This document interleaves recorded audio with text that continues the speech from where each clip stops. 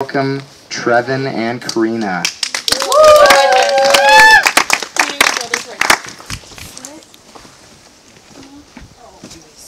Do, do you want us to sleep? You want us to. You can. Okay.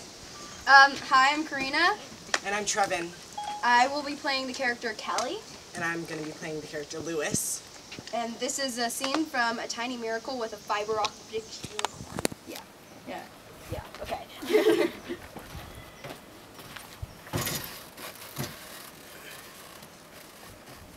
Good night.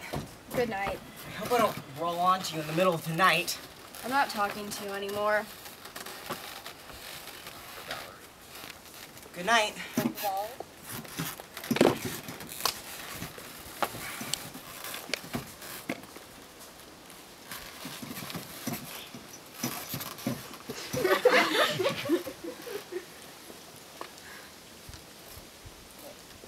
Hey, hey, Kelly.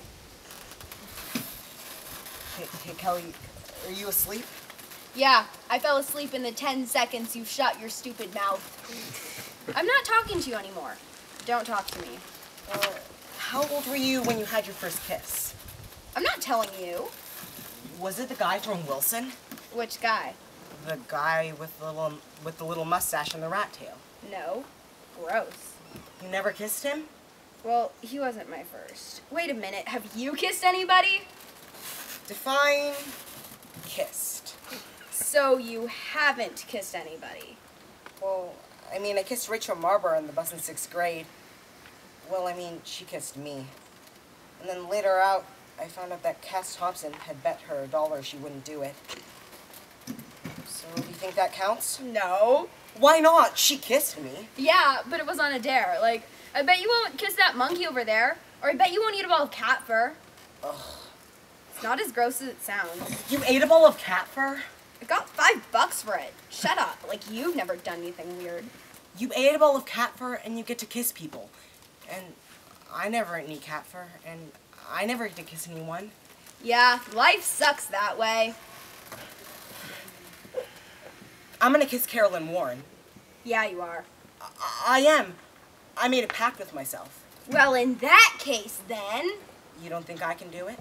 Like if you tie her up and knock her unconscious, then you can do it. Otherwise, no. Why not? Oh, come on. Carolyn Warren? What about her? Have you seen Carolyn Warren? Obviously, that's why I want to kiss her. Is she like freakishly weird in ways I don't know about? I don't, I don't think so. Has she called you on the phone or anything? No? I mean, yeah, one time. For math help. She doesn't like you, Les. She's cute, right? Yeah. So why would she like you?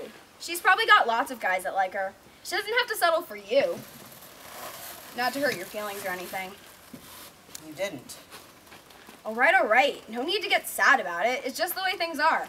Girls in junior high don't go for the smart guys unless they're tall and good at sports. Smart doesn't really get a girl to like you. So, what do you think I should do? You're asking me for advice? Yeah.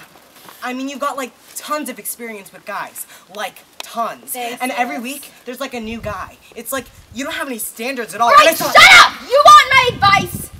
Give up! I'm not gonna do that. Well, why'd you ask me for advice then? You're so rude. Your advice is lame. Don't ask me then. I want to know how to make her like me. Either she likes you or she doesn't like you. There's nothing you can do about it. What if I was like dangerous or something? It doesn't matter. Go to sleep. God. Well, maybe if I. I All right, all right. Look, you got a lot of things stacked up against you. You're a dork. You're stupid. You're ugly. You can't dress yourself. I mean, the list goes on and on.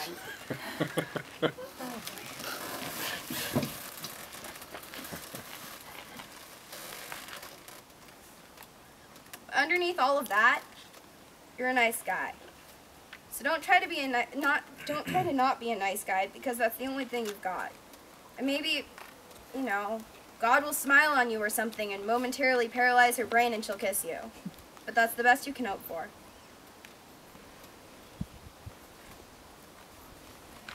I love you, Kelly. Shut up. I'm gonna hug you at the mall tomorrow. I'll knee you in the balls if you try it. You're so sweet. But seriously though, thanks. Don't mention it. You're the best older sister a guy could ever have. Go to sleep before I gouge your eyes out with a spoon.